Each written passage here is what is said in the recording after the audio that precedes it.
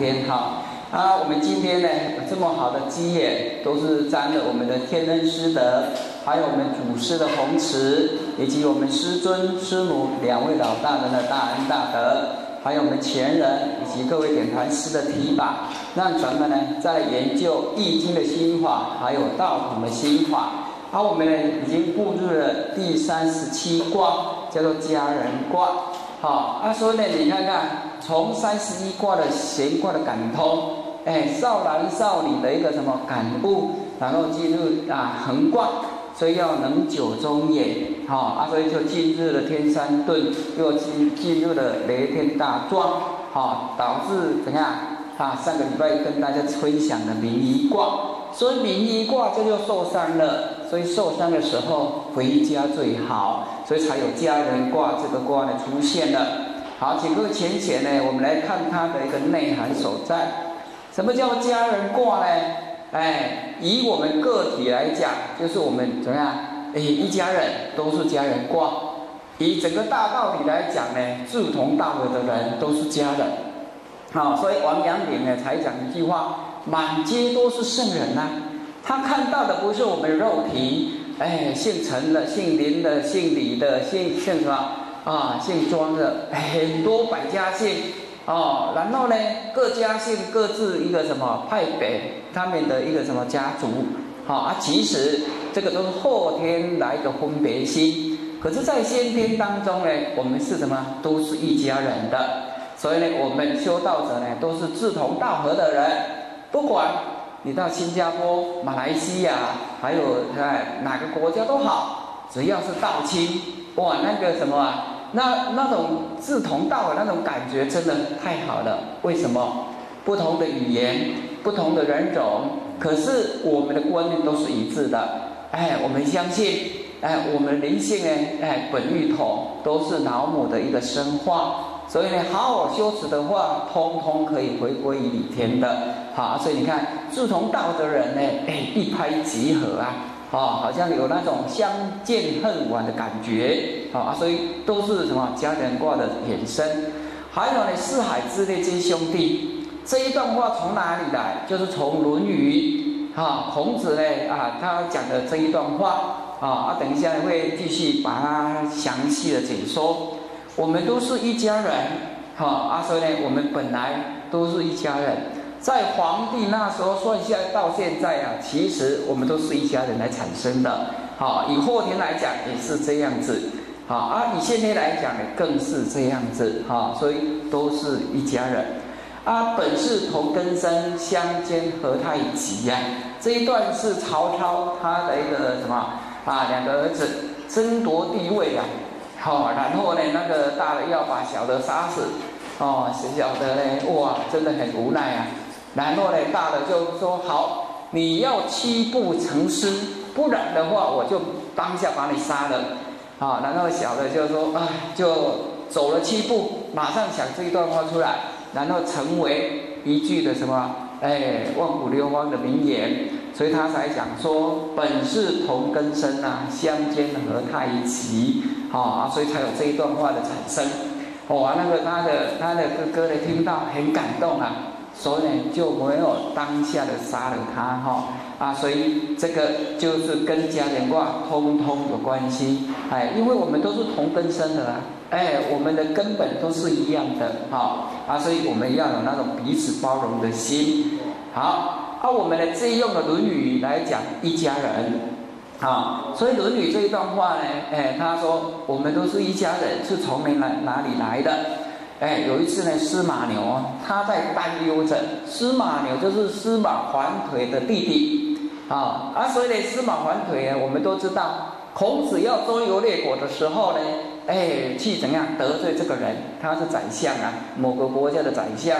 然后呢，他要去建建设一个什么官国？哦，内官的外国嘛。那他是宰相啊，可是做那个官国哈，比那个皇帝还要豪华。已经已经什么御前了，哦，所以他心里没有讲，可是他做的事情已经怎样？哎啊，比皇帝那个职权还要高了。好啊，所以以前的孔子是非常重礼节的。哦啊，所以他看到的时候呢，就很生气。哦，所以你看到的时候就说这个是什么人要要要用的？哎啊，所以如果这个人死掉的时候，哎，赶快让他的尸体哈，赶快烂掉啊！哦啊，所以讲出哎得罪司马桓腿的话。所以呢司马桓腿的手下听到这句话，就是通知他了。哦，司马桓腿就很生气，要杀了孔子啊！哦啊，所以呢，半夜的时候啊，当中呢，等孔子他们在外面扎营的时候呢，哎，怎样夜间偷袭？好啊，所以呢啊，孔子呢，他带着弟子啊，通通离开。所以呢，他们要偷袭当中呢，就是让司马牛啊，就是他的弟弟呢，哎，知道了。所以之前就是通知孔子赶快跑，不然的话生命危险呐。好啊，所以呢，他通报信之后呢，哎哎就不敢回去了。然后呢，就跟随着孔子啊，当孔子的一个什么门下啊，所以司马牛就是这样子来的啊啊，所以才有一段什么谢谢姬花谈，就是这个公案的才产生。啊，司马牛呢就跟随在孔子的身边，所以有有一次呢，在怎样大家论坛的当中，司马牛就在那里担忧的说了：说人间有兄弟呀，我独无啊，哎，大家都有兄弟姐妹呢，可是我没有啊。因为我的哥哥呢，他是当当宰相的，没有来到鲁国啊，所以我好好寂寞啊。哦，可是呢，子夏这个人哦，哎，什么？哎，水有五鸡焉，真的非常的好水不倦。所以呢，他听到这一句话呢，就跟他讲了。子夏曰：“商闻之矣呀。”哎，他说不对啊，不对啊。以我呢，商就是子夏他本人的一个名字啊，所以他的名。所以，以我听老师的道理哦，他不是这样讲的呢。他说，只要我们人哈怎样，死生有命啊，富贵在天呐。我们的生跟死其实都是掌握在上天的手上啊。所以，我们要好好把握我们再生之年呢，好好创造美好的明天，好好创造人生的意义真谛。好，这样子才有价值观呐。啊，真正的富贵不在人间，人间享受这一些都是怎样？暂时性的，啊啊，所以真正的富贵都是在上天哦，那个才是真正的什么样极乐世界呀，啊啊，所以他说，君子敬而无私，与人恭而有礼呀。所以他说，老师跟我们讲呢，身为一个正人君子呢，只要怎样，哎，跟人交往当中可以是生发我们的敬敬那尊敬的心哦，然后呢，不分大小，同寿无期的话，哎。与人恭而有礼啊，哎，可以达到在谦谦君子这样一个境界的话，哎，你看四海之内这兄弟呀，哎，所以万国九州大家怎样，通通都是兄弟姐妹啊，啊，所以君子何患乎无兄弟呢？啊，所以你看我们一个身为君子的人，何患乎没有兄弟姐妹？啊，所以这个在我们前辈者的一个身上，通通可以看得到了，啊，像我们啊何老前人。哎，他的父亲母亲呢，跟跟他的一个一些孩子啊，妻子都在中国大陆嘛。民国三十六年的时候就来台开荒的，哦，他说一来呢，你看就好几十年，四五十年，啊啊，所以呢，有一次啊，有一些那个前人辈呢，就说啊，那个老前人呐，啊，你现在哈已经都什么，已经安哎，已经安稳了，大陆也非常的平稳了。啊，啊，有没有想要回去大陆呢？探亲呐，看看他们呐，啊，因为你现在都没有都没有孩子啊，啊，啊，只有一个人在台湾而已啊，是不是很孤单呐？他说怎么会没有呢？哎，所有的道亲都是我的兄弟姐妹啊，所有的人才都是我的儿子女儿啊，哎，我怎么会孤独寂寞呢？所以你看，老前人对他那种意境就是达到这样子的，所以他已经把天下人。当做自己的亲人了，好，所以就有像孔子已经把四海之是吧之内的人呢，通通都是兄弟姐妹啊，好啊，所以他才讲出这句话。司马牛呢，听到这里的时候，才恍然大悟，哦，原来我们执着的都是外边的假象，而没有深入深呃深入到我们心坎里面的一个世界，啊，所以我们在研究易经、研究道理，就是要找到我们真主人，哈。啊，顺治皇帝也跟我们讲，啊，顺治皇帝以前跟各位介绍过了，他跑到五台山去什么修道，然后呢又怎样又被请回来，所以他在五台山修行半年当中呢，哇，悟性很强，所以在这一啊这一段也是他在那个修道当中呢悟怎样体悟出来的，然后把它提示下来，啊，所以你看留到现在。哎，啊，所以他说：“你我本是西方一那子啊，为何落在娑婆家？如今我们已悟道，大家本是同林乡啊。”哎，他说：“你看看，我们都是西方来的呢，都是西方的一那子呢，我们都是西方的一个什么？哎，元胎国族啊。可是为什么莫名其妙来到这里了呢？哎，因为我们每个人都有使命而来。”哎啊，所以呢，就这样呢，受老母的什么恩恩者，受老母的一个指示，来到人间，要继续度化天天下的苍生，所以才到来这个娑婆世界。所以我们的责任是要把娑婆世界化作莲花邦，哦，所以才有义务的来到这个人世间。而如今呢，我们都已经开悟了，都已经悟到了。哦，原来哦，原来如此啊！好啊，所以呢，这个。如果没有求道的话，真的这个道理呢很难了解，哈，因为他不知道活在心中咒啊，啊，都执着在活在外面的一个假象，所以呢，我们道中最可贵的，就直接跟你讲说，你本身就是活了，不要到外面再去找了，好好的耕耘你的一个人生观，这样子呢，让活性啊布满于世界，啊，广结善缘，当下你即是活了，啊，啊，所以呢，这个。也是在证明我们都是一家人。好，再来我们再来探讨天运的一个变化。所以我们都有知道青阳起、红阳起跟白阳起。所以呢，家人卦在里面跟我们讲的这三起啊，由谁来掌天盘、高道盘呢？都有交代的非常的清楚。所以他说青阳起的时候呢，掌掌管天盘的就是燃灯古佛。啊，释迦牟尼佛就是受了燃灯古佛受记啊，才开悟的哈。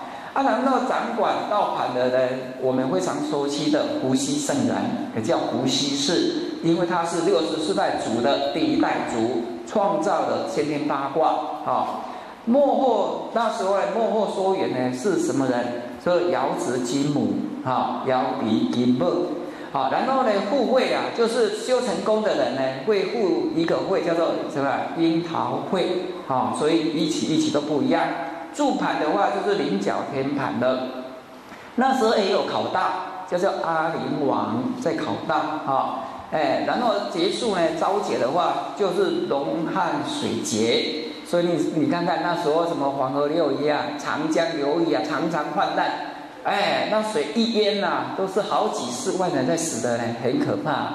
好，因为那时候都还没有开垦好，好啊，所以就任意的那个河流的一个什么，哎，水源的泛滥，好啊，所以呢，到最后禹帝才来治水成功，啊，才把这个水患呢降服住，哈，所以就是这个样子来。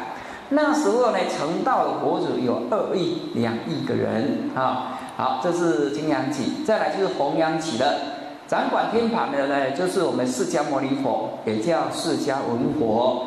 哎，掌管道盘呢是释正文佛。好，幕后收圆呢是什么？西王圣母。啊，护卫那时候是什么？蟠哎那蟠桃大会。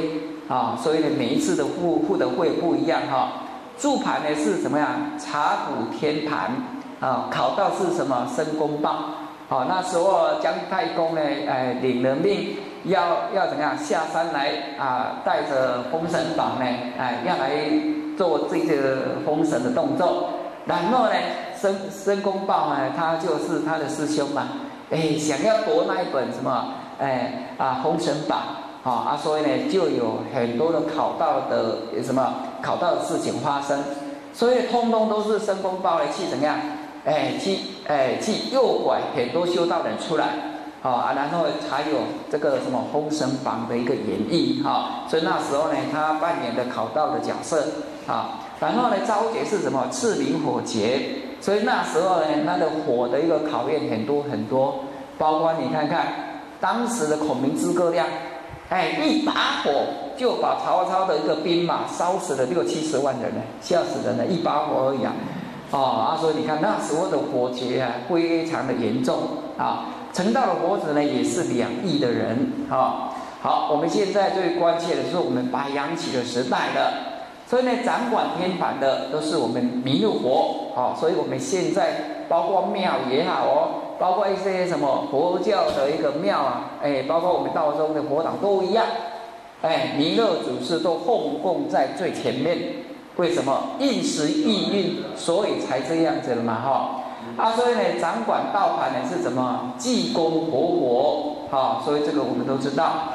所以莫莫说远是月会菩萨，就是我们师母老大人了，好，所以我们最后要布一个会，很重要的会，叫做龙华大会，啊，所以我们以后就是要布这个什么广会的哈。啊，他说住盘是重整天盘，所以我们现在就是在重整天盘、重整天盘的一个过程。考到了就是阿修罗道，哦，所以阿修罗道呢，有人讲说警察了，哎，也对了哈。像我们现在到越南，哇，那边的公安就是阿修罗道，哎，他们现在不是不是取缔哦，他们因为怎样，哎，就是说，就是说怎样？取缔到我们这一些啊一贯道弟子啊，因为他们还没合法，所以他们就有什么，哎，私人的奖金。哎啊，所以呢，他们就很很勤快的在怎样，在巡视啊，好啊，所以呢，现在都是阿修罗呢在考道啊，啊，所以只要有人啊去卷起的话，他们马上去怎样处理，好啊，所以哎怎样，哎被他们取缔到的时候呢，都会怎样跟你要 money 啊，哎你拿多少来，然后我就怎样作罢，不要跟跟你登记哦，哎黑名单都是这样子的，好啊，所以呢。以前我们老前人辈来到台湾，怎样？也是受到很多警察的一个取缔，啊啊，所以呢，甚至我们前人呐，他说他被关了三次，抓去关了三次啊，啊，他可是呢，找他的一些罪什么呀罪名什么都没有啊，因为又不是犯科雷得，又不是做什么坏事情啊，啊，他只是说聚会那时候是戒严时期呀，啊聚会呢不可以啊，就是这个名称而已。然后呢，没有什么罪状，然后又把他放回去了，啊，所以我们前面说他被抓了三次啊，所以阿修罗啊，就是这一次的一个什么考考到的人哈，然后招解就是什么啊，元康风解啦，风解就是什么？风在里面，风里面最多的是什么？菌，哎啊，所以我们现在最重要都是什么？菌的考验呐，哦，所以你看看现在的感冒啊，都很严重啊。哦，包括那个以前的沙士啊，这个都是菌呢，所以未来未来哈会毁灭都是怎样跟风有关系的，哎啊，所以呢这个是未来的大结束哈，包括现在的水灾也有，火灾也有，地震也有，山灾八难通通来了，所以这一次呢就是要办大收演，在重整天盘啊啊，所以呢呃预计啊会成成道佛子呢有九十六亿人人。好啊，所以呢，我们要好好加把劲啊！啊，所以才可以列入仙班。好，以序卦这样来讲呢，他说：“宜者三也，三于外者，必缓于家，故受之以家人呐。”好，所以他说序卦算为什么家人卦前面都是什么呀？就是一个受伤的名医卦呢？啊，他说名医卦就是受伤啊，所以我们人受伤的时候呢，第一个想到的就是赶快回家。回家是温暖的，哈啊，所以才有这样的一个什么序卦，就好像在外面工作了，哎，受伤了，被人家倒会了，被人家裁员了，被人家遣遣送了，哇，第一个回家吧，回家吧。我讲到这里，现在裁员的很厉害呢，有没有？哦，真的很可怕呢，哦啊，所以你看看那个我们南部有一个奇美啊，啊奇美现在。据说一个礼拜只有上两天的课，两天的班而已呢。一个礼拜，人家是休息两天，他们是做两天啊。现在很恐怖啊，包括蔡在灿坤哦，说也要裁员呐啊。所以你看看现在真的太多了哦啊。外面的裁员不要紧呐我们在道中呢，不能被上边裁员呐，了解哈？被裁员就麻烦了，哦啊，所以呢，我们尽量发挥自己的一个本能，啊，来来好好大帮助大哈。好，他说本人的家乡，哎，就是我们的故家乡的，所以我们受伤了，回家的感觉是最好的，因为家是重人情、重亲情的安顿所。好啊，所以呢，为什么灵一卦之后有家人卦就是这样？所以你看，我们本年的故家乡就是西方极乐世界呀。啊，我们人呢来到这个什么哎东土当中呢，已经六万多年了。啊啊，所以气力要受病啊的一个蒙蔽啊，物币物欲的蒙蔽之后呢，整个都在这里轮回不休啊，所以受伤累累了。哦，所以不懂得回家之路啊。好啊，所以今天呢，刚好，哎啊，遇逢三朝普渡，我们才可以弘利名师呢。所以有这么好的一个机缘，如果不懂得好好把握的话，错失良机，哎，是吧？万古不复啊！所以，要找到我们本灵的家，这个才是最重要的哈。好，从这个日意来看呢，你看这个家的日意，好，它门里面都是诗，哎，这个门里面啊都是诗，就是一家人哈，都是什么猪啊？真的是这样子嘞。为什么？因为哦，我们要那有那种什么大智若愚的那个什么，哎，那个表现，真的有时候很多事情哦，哎，在家里就好，不用再在外面了，在家里，你夫妻两个嘛，对不对？哦，然后有儿女嘛。啊，有很多纷争的时候，还是说很很多意见的时候，或谁跟你讲，我们一定要随一句话叫做大智若愚。有时候该睁一只眼的就睁一只眼，该闭一只眼的就闭一只眼。哎，该听不到的就不要听得到，了解哈？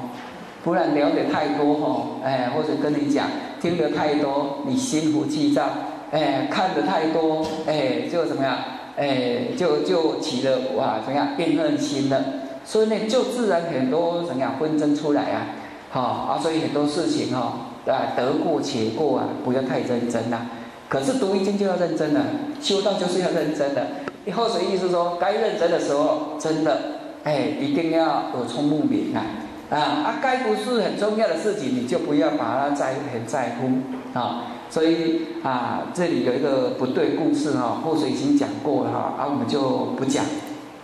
他说是路人为家人啊，他说道内亲呐，道外情啊，有大爱的一个什么哎心态。所以我们现在就是要视路人为家人呢，也就是说你本来不认识的啊，你因为读了易经认识的，你因为呢哎怎样跟他啊做哎有缘呢碰面呢，啊跟他认识了。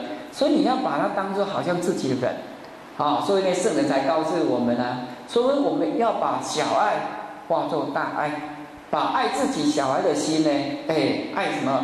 哎，爱天下苍生小孩的心，哎，孝顺我们父母亲的心呢，来孝敬天底下的父母嘛。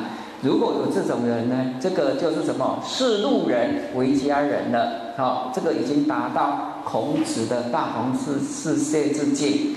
然后视家人为路人，哎，这个话是又怎样？有点奇怪。为什么？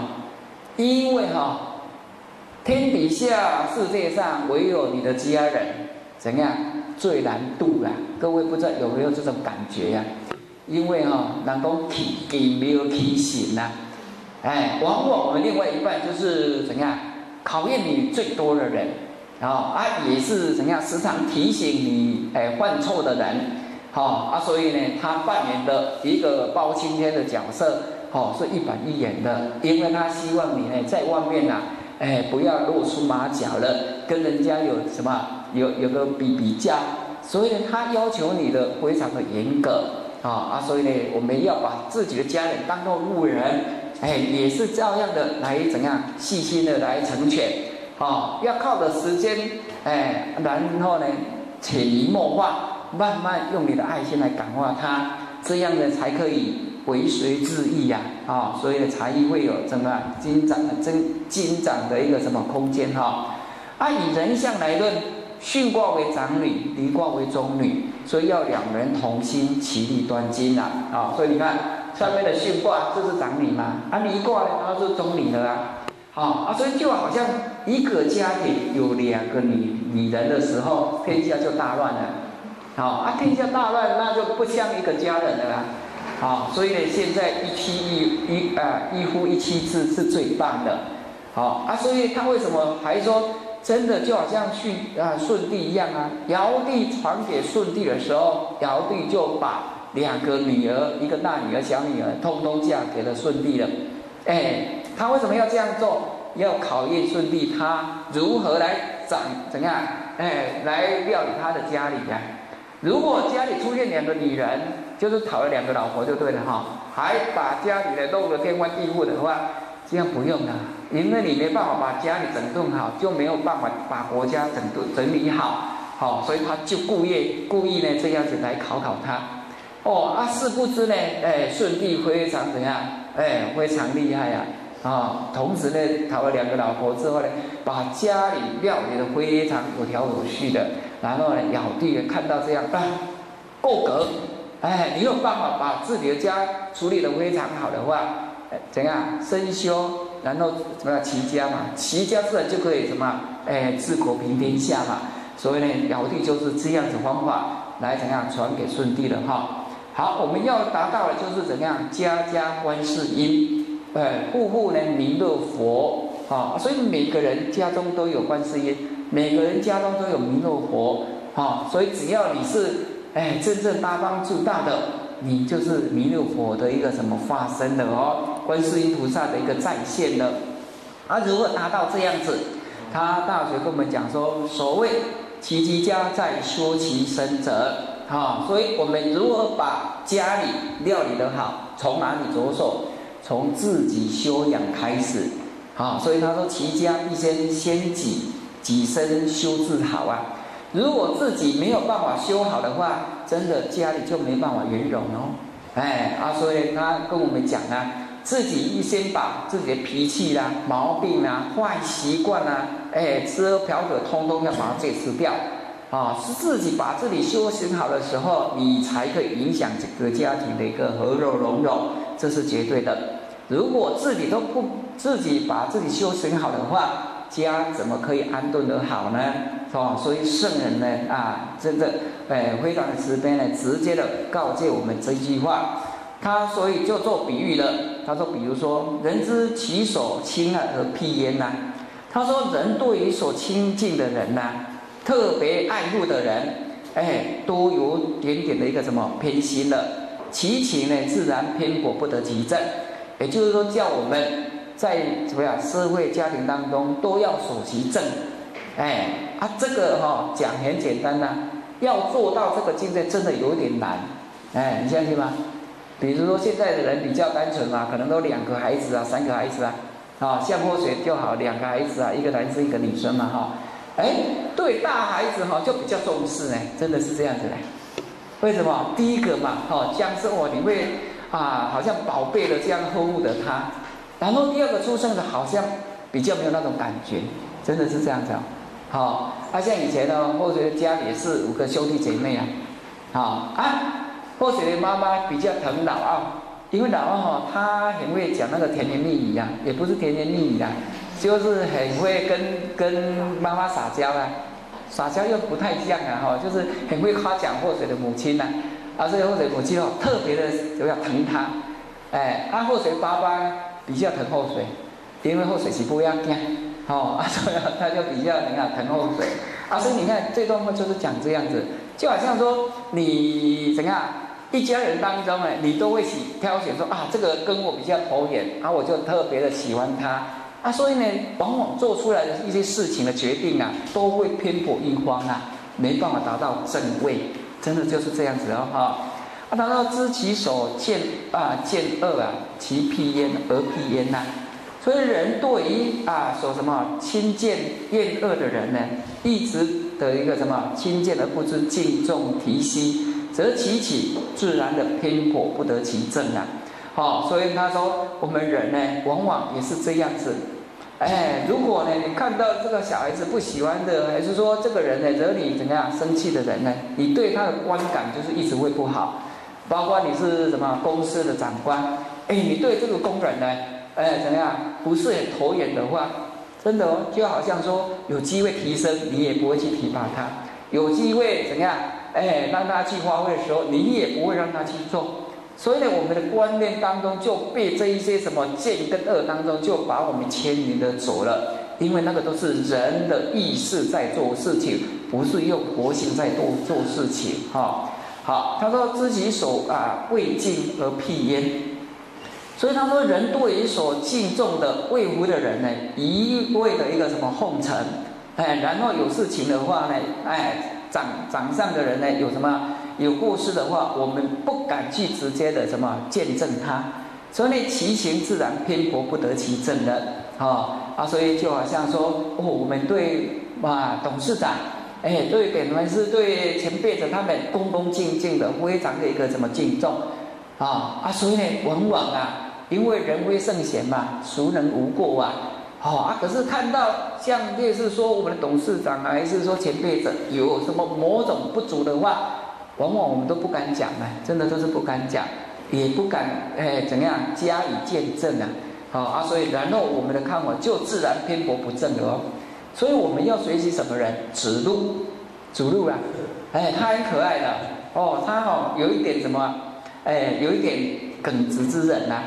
所以他只要对孔子啊，孔子做错什么事情，哎，他不管他的呢，哎，你是我的老师，对我尊敬你，可是你错了就是错了，所以他大在那个大众啊大众面前还是哎怎样，跟我们啊现在人说呛虾一样的哈，直直接干正那个什么老师一个不是啊，然后老师就很高兴啊，孔子说哦太好了，还好你有提醒我。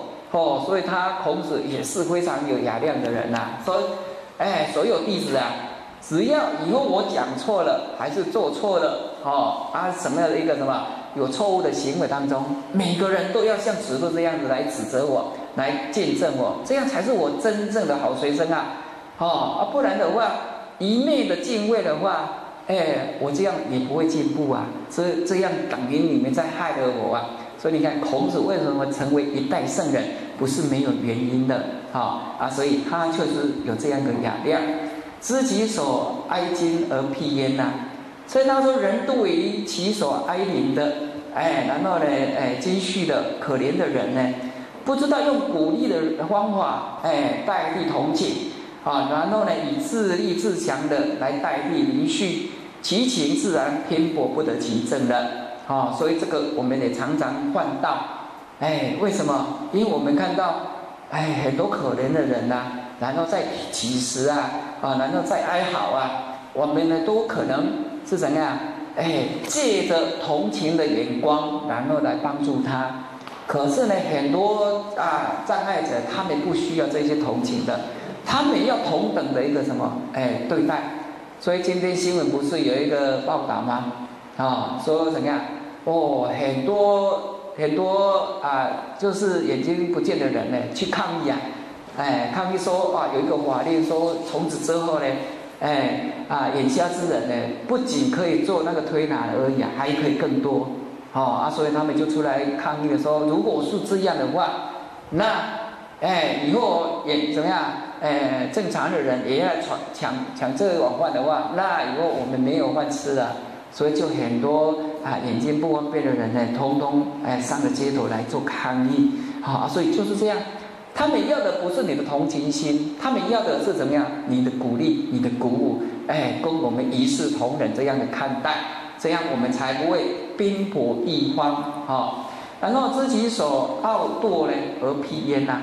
他说人对于其所怠慢呐，看不起的人。不知以谦虚，哎，尊重来对应应对，其行自然偏颇不得其正的，啊啊，所以就就就像怎样，哎，我们也是一样啊，哎啊，所以他说，我们对于看不起的人呢，啊，还是说自己升官的一个什么怠慢的心的话，啊啊，所以怎么样，我们没办法真正把自己导正过来，所以呢，这他讲的这一期这一些，其实都是我们日常当中常常碰到的。啊啊！所以他做最后的结语就是怎么样？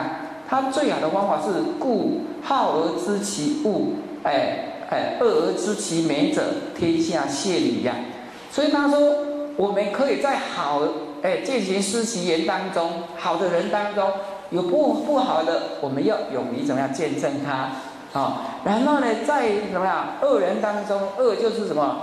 不是很圆满的，修持不是很好的人，就好像我们的心道经一样，他虽然哎每一样都行呢，都不是圆圆的，可是我们怎样可以来包容他，尽量找他的好处在，哎，这样子呢，天下如果可以做到这样子的话。孔子说：“先天下献礼啊，很少人都是可以做到这样子的，好啊。所以意思跟我们讲说，我们不要执着一方，哎，他是好的，我们尽量去随其他，好，然后该见证的就见证。他是不好的，哎，怎样反观其身？我们有没有同样犯犯这样的错误？然后呢，尽量找到他的优点，啊，这样的世界就可以真正的达到大同的之境。以家庭来讲呢？”我们的另外一半，哎，不是世界最圆满的，对不对？哎，而我们也不是他最圆满的。可是人都有优点跟缺点，你如何在你的另外一半当中挖掘他最美的一面？这个就是什么？哎，就是可以达到家和万事兴的一个什么最好的方法。哦，不要一直要求别人，不要一直要求对方要对你怎么样，对你怎么样，这样是很痛苦的哦。好啊，所以呢，他跟我们讲的就是这样。啊，晏有之呢，哎，他还说：“人莫知其子之恶啊，啊，莫知其鸟之硕。”所有的人呢，都不知道自己的孩子，哎，都是认为自己的孩子是最棒的，是最优秀，是最好的。可是呢，等到儿子呢没有管教好的时候，哎哎，做错事情了，然后送到怎样警察局的时候，他说：“怎么会呢？”那个应该不是我的儿子吧？好，那时候才来懊悔啊，这样就已经太晚了。哦，莫知其妙之数啊！哎，一个农夫在耕种的时候呢，往往都觉得自己种的比不上别人。哎，我们才有一句话：别人的太太比较漂亮嘛，对不对？哦，别人哎，别人的先生比较会赚钱嘛。不要这样子啦，买买安，假别康，你知道吗？都好吗？哎，所以祸水常常跟老婆讲说不错的啦，这个拜拜安哈还还还好了哈，不会让你什么呀受冻受寒，那就阿弥陀佛的啦，哈啊，所以其实我们要知足常乐，那个就什么最 OK 的了哈。好，啊那个中庸才跟我们讲说，君子好合啊，如鼓什么色情呐，所以他说妻子儿女呢，个个欢喜和乐，就好像什么秦璧这样子呢，弹坐着。啊，所以呢，色情当中呢，和平啊，可以演做出非常温馨的一个什么乐章的，啊啊，所以呢，有浅显呢，才鼓励我们家中最好有几种声音。第一种就是什么笑声，哎，天天开玩笑，哎，天天怎么样，哎，说说话，哎，聊聊天，哎，沟通沟通。然后呢，天天有什么读经的声音。好，所以大人也要读经，小孩子来读经，和乐融融啊。还有什么声？哎，唱圣歌的声音，哎，所以呢，有空的话唱唱圣歌，哎，非常好。好，最好不要唱那一些什么弥漫之心啊之音呐。哦，哎，混音的混咖戏那种最好不要唱，知道吗？在这里唱那个，哦，好奇怪啊！哎，太太听了说，你到底是在恨什么人呐？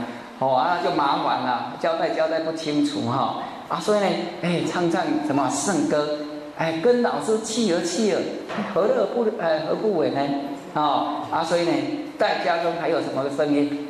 哎，读易经的声音，哎阿叔呢，你看你不懂的，哎啊，我告诉你，哎啊，我不懂的，请教你，彼此的雷锋相搏，真的非常的好了哈。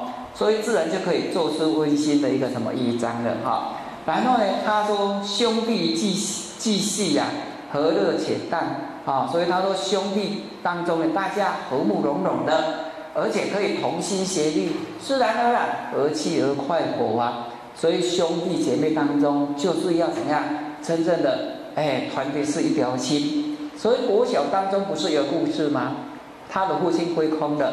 然后就叫他的所有孩子而来，哎，一个人分一只什么筷子，一折就断了。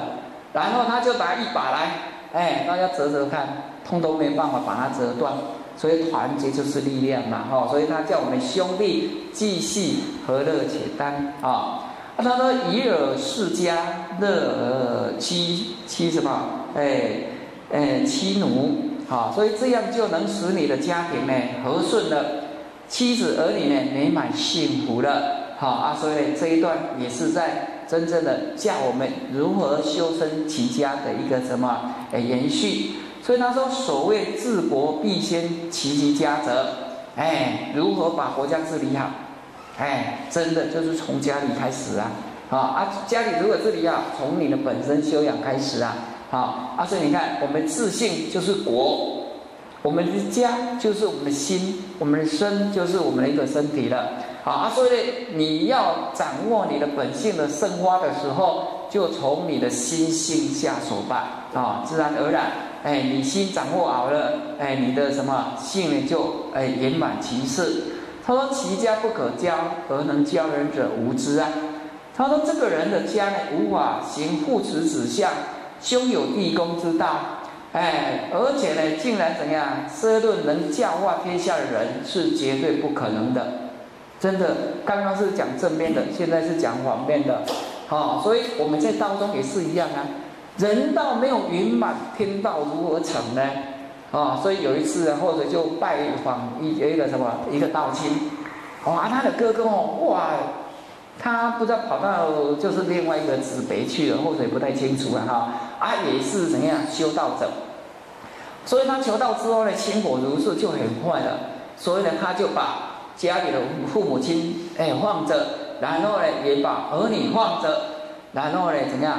要舍身办道，这个是非常好的。可是他忘记了父母健在，哎，子女呢还幼小，谁来照顾？他就忘记这个呢。然后就交给他的弟弟呀。哦，啊，你看看，不是自己的儿子如何来管教？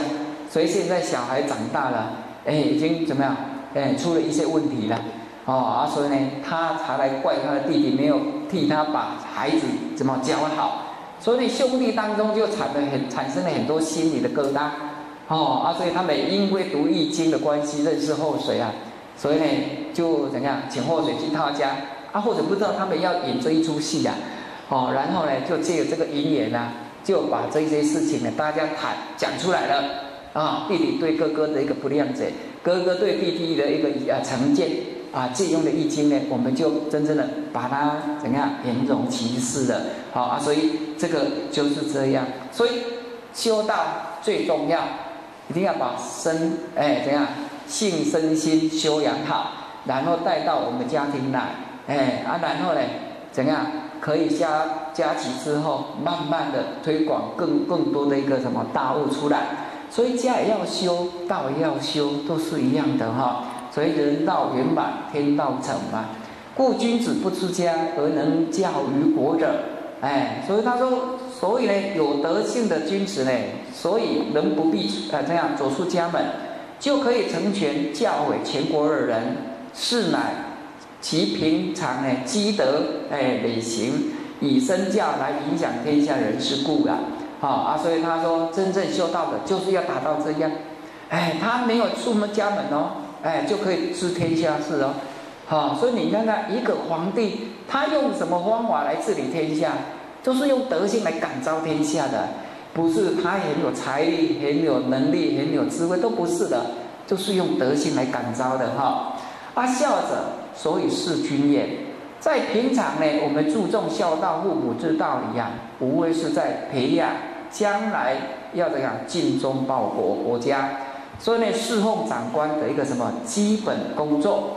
所以，如果你是老板的话，或者建议你，哎，如果哎你发现这个人很孝顺，你用他就对了。因为孝顺的人对怎么样长上都很尊敬的，好，所以以前的以前的人都有这套功夫啊，知道这个人是孝顺的，然后就把他取缔出来了。我们那边呢有个呃姓马的马小姐啊，她去应征的时候应征啊。啊，那个应征的人也刚好是我们道心坤道，啊，然后就说，哎，你为什么要来找工作啊？啊，他说，哎，好几年前的事情，啊，他说呢，我需要这一份的一个薪水，啊，啊，然后讲好了，说好，你明天来。他说说，小姐，对不起啊，明天能不能明天下午啊？他说为什么？哎，叫你来你还不来哈，对不对？我们大家想法都是这样。他因为明天早上我要带母亲去什么看病啊？哦，他吓了一跳，你是孝子哦，他的心来在讲啊，你这样子一个什么爱护母亲呢？哎，这个孝子啊，然后呢就把他渡起来了，发现孝子就赶快把他渡起来了。好啊，所以呢这个绝对是正确的哈。他说悌者，所以是长也。在平常要注重怎样恭敬兄长的道理。无非是在培养将来可以善于侍奉天下长辈的基本功夫，哈，所以哎，兄弟互相的一个什么敬重，都是在培养我们以后在道堂也好，在社会国家都好，哎，培养这什么尊奉长辈的基本功的，哈。然后呢，慈者所以始重也，在平常呢注重慈爱心的一个培养，无非是为了将来在社会国家上。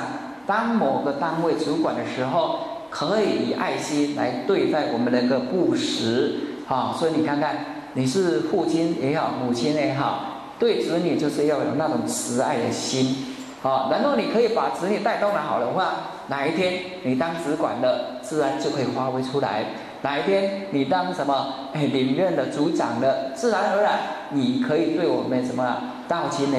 哎，怎样给予这种慈爱之心啊？所以呢，这个是什么？如何修身，达到齐家的一个境界啊？好，再来呢，我们请各位前贤来看他的卦辞了。卦辞呢很简单，只有三个字：家人利女贞言。啊，什么意思？他说家人的卦象啊，以九五跟六二居其中正。哎，原意为男女外交，哎，外内各得其正。既夫妇正，则家道正。所以家人卦呢是讲什么亲属之行的，女子为一家之本也。所以呢，家人卦最重要就是什么第二爻，哎，因为一个家最重要就是坤道，坤道就是内内嘛，哦，它阴气因为得其中正之位嘛，啊，乾道呢它是第五爻，它是指外的。好啊，所以呢，哎，一个家来讲，就是第二第二爻占了最重要的一个什么分量，哈，所以一个家的所有人员呢，身体健康就是这个坤道，他会烹饪的话，会注重这一个养生之道的话，全家就是受福了，哦啊，所以我们慢慢的来探讨它的一个含义。他说：先正其家，上下皆正也；家道以其呢，其义正也。男正于外，女正于内，长正于上，幼正于下，子正于前，仆正于后。这个就是齐家最基本功。哎，不要上不上下不下，不要前不前后不后，啊，那就整个家庭都什么瓦解掉了。哎，真的。所以以前哦，我们古古圣人他们在教教育我们小孩子很严格的。哎，小孩子、大人在讲话，他们也不敢插嘴的，甚至他们是站的，不敢坐下来。没有长辈的吩咐，他们是绝对不敢坐下来的。啊，我们现在小孩不一样了，对不对？差的很多，坐没有坐姿，哎，怎么样？站没有站站相，啊啊，所以呢，哎，就变成很奇怪了，啊，所以这一方面，哎，我们真正还怎样要加强？啊，突然时跟我们讲说，家人女正位乎内也。男正位乎外，男女正，天地之大义也。人家人有元君焉，父母之位也。父父子子，兄兄弟弟，夫妇夫妇，而家道正，正家而天下定一样。啊，啊所以呢，他说家人呢，就是什么？女正位于内，男正啊位于外。所以呢，第二爻就是代表了女主人，第五爻代表了什么？男主人。啊，所以他们两个刚好一阴一阳之谓道，又可以感应，又可以感通，所以呢，可以扮演的两人同心，其力绝对是可以断金的。啊，所以夫妇当中一定要同心、同德、同伴、同化，啊，最好是同修，那是最棒。好，修当然不是修理来修理去那个修了，哈，是修道的修。哎，因为可以同修的话，大家目标都是一致。才不会很多的混乱出来哈。男女正，天地之大义也呀。所以他说男女有正常的本位了，与天地化一，哎，万物的大道理是一样的。所以说天尊地卑，乾坤定理，天地不混乱，上下有常，生化有序，则万物怎么样愈一样。好，所以呢，男女正当中就好像天地定位了。好，天怎样？它有一个本位，地有它的本位。男孩子，哎，先生有他一个本位；女孩子，坤道有他的本位。所以我们守其位而行啊，整个家庭自然和乐融融。好啊，当然现在的时代不太一样啊，很多是女孩子在外面赚钱，男孩子在里面顾家庭的、煮三餐的都有。好啊，所以呢，这个时候叫做什么？阴阳颠倒颠呐，便是人间陆地仙。因为现在叫坤道应运了，哎，坤道也有当部长的呀。也有一一什么哎委员的啊，啊，甚至以前啊更高的可以当到副总统啊，差一点点当的什么总统啊，好是不是？所以女权至上啊，所以现在时代有点转变的，可是现在我们易经里边的都是讲古礼，所以古代的礼就是要这样子哈。所以家人呢有什么原金焉，父母之位也呀，家的家主在家的一个什么尊严。好比国君在国的一个尊严一样，内什么呀？内外两军呢，就等于一国之尊的一个国君了。所以内外两个君，其实什么？我们的父母，好啊。所以呢，啊，这个父母的一个尊严一定要好好守住。哎，该严苛的时候就严苛，该松弛的时候就松弛，该鼓励的时候怎样就就鼓励。哎，你不要哈，孩子的时候一直鼓励他，然后让他一直一直什么？哎哎，怎样？哎，一直一直增高起来，然后呢，就忘了我是谁，就不知道谦卑之行啊，这样等于是害了这个小孩子。所以呢，郑校长才讲一句话，哎，他说我们的小孩子在教育的时候啊，哎，你不要说哦，妈妈鼓励他，哇，你好不得了啊，哎，爸爸说了不得啊，最后是什么得不了？为什么？他太高了，没有人呢给他一个压力呀，啊。啊，最好的方法是什么？哎，因为爸爸大部分都扮演的什么黑脸的啦，比较凶悍的，啊，啊像或者的家庭是或许扮演哎比较柔性的，啊太太扮演黑脸的，好，啊这个我们的角色是互换，啊都可以哦，好，就是一个怎么样白脸的一个黑脸的，好，啊所以一些事情呢都是怎样，哎在鼓励小孩子，哎怎么样啊？母亲呢比较柔性，然后就一直夸奖他，啊，你做的很好，哎，啊，继续努力，啊，啊，爸爸呢说啊，这个还早呢，哎，比较严苛嘛，啊，你还有什么样，哎，怎么样，啊，成长的空间呢，哦，啊，所以呢，都是要这样的，一个把他鼓励起来，一个稍微把他压下去，所以呢，这样子才可以达到一个平衡，啊，也不要两个都一直把他压下去哦，这样他会很痛苦哦，甚至想不开会去自杀。真的呢，啊，最近后谁昨天讲，哎，听到一个故事，真人的故事哦。所以有一个教授，哎，就是一对夫妻，两个都教授级的，哦，啊所以就独生一个女儿而已啊，哎，啊，所以你看那个教育家庭哦，哎，大家怎么样都懂得教育来，哎，如何教育儿哎孩子，所以就一直教育他。可是呢，可能小时候太宠爱他了，啊，所以这个女孩子就一直长大。到了大学哦，哎，读到大学之后，已经大概二十几岁了嘛，二十三岁、二十四岁嘛。然后现在经济很不好啊，我们都知道的啦。然后出去找工作，哎，竟然找不到工作呢。大学生出去找工作也是很困难呢，啊。然后，哎，有一次机会他去上班了，结果他觉得我一个大学生来做这个工人的事情啊，哇，很丢人啊，所以他就不做，又回来。人，然后就在在家里继续待了三年，已经二十七八岁了吧。他的父亲只有跟他讲一句话而已哦，他说：“哦，女儿啊，你这样老是待在家里不是办法，而且你现在是适婚年龄的，好啊，因为呢，要要怎么样，让人家有有什么好的好的什么示范可以看。”人家以以后要来提亲呢，也可以讲说，我女儿在哪里上班呐？有正当的一个工作可以做啊，啊，这样你你比较好找到好归宿啊，哎，然后他的女儿就很生气哦，听了就很不快乐，然后就怎么样冲出去了，机车出骑了就出去了，然后呢，他的父母亲就很着急，一直找一直找，可是就找不到。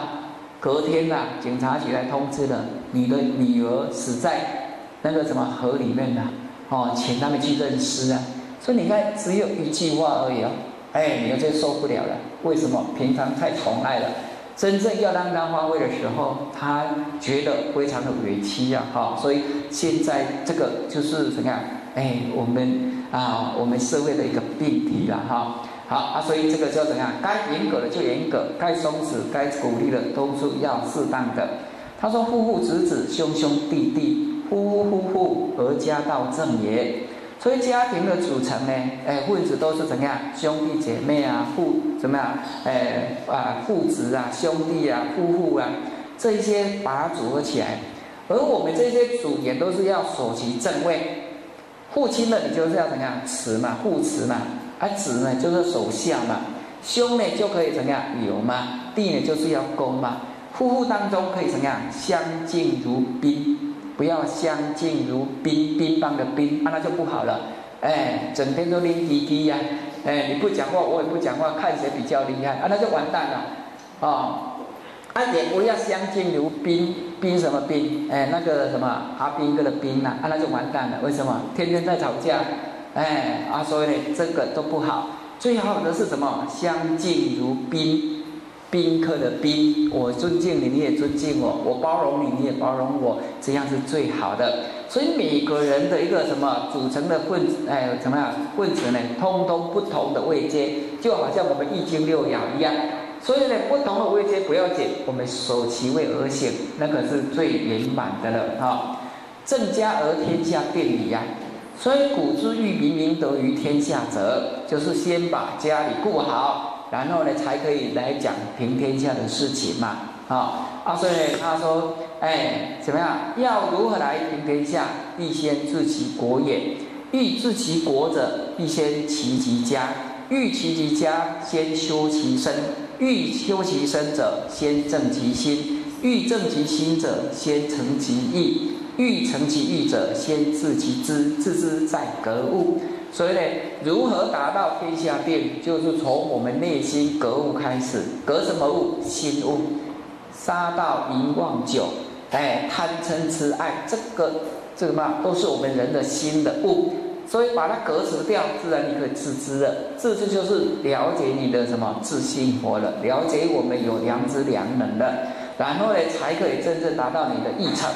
哎，你的诚心诚意才会显现出来呀，不然是没办法了。好啊，所以呢，诚心切出来之后，你才可达到正心。有了正心之后，你才知道如何来修身养性。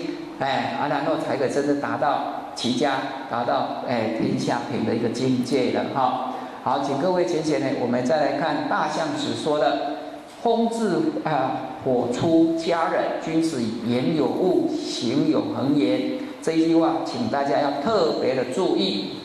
为什么？因为我们当讲师在讲课哈，就是要随机这一句话。因为那个什么灵性，它是不生不灭的啊，哎，没有形状的啊，所以看不到、摸不着、听不到的。如何把它阐述的，好像有东西让人家哎摸得到那种感觉，哎，让人家有那个触动的感觉。